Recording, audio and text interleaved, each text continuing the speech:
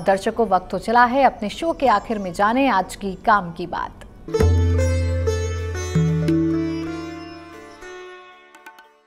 दर्शकों, आज की काम की बात शनि से ही संबंधित लेते हैं, क्योंकि तो शनि पर ही चर्चा हो रही। दर्शकों, शनि देव को प्रसन्न करने के लिए आपकी एक्टिविटी ही काम करेगी। आहार। सुबह नाश्ते में जो लोग भी स्प्राउट खाते हैं, अंकुरित आहार खाते हैं, उनसे शनिदेव हमेशा प्रसन्न रहते हैं। तो गांठ बाँध लीजिए कि आहार में भीगी हुई चीज़ें, बिना तली, बिना भुनी, ये शनि को नहीं पसंद है।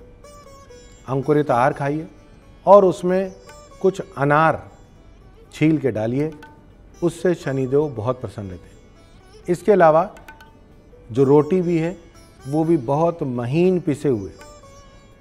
पहले चोकर युक्त रोटियाँ होती थीं। धीरे धीरे मॉडर्न हो गए सब लोग तो चोकर हट गया। अब वही चोकर अलग ट्रैक से फाइबर के बिस्किट बन के आ गया है। शनिदेव को फाइबर पसंद है।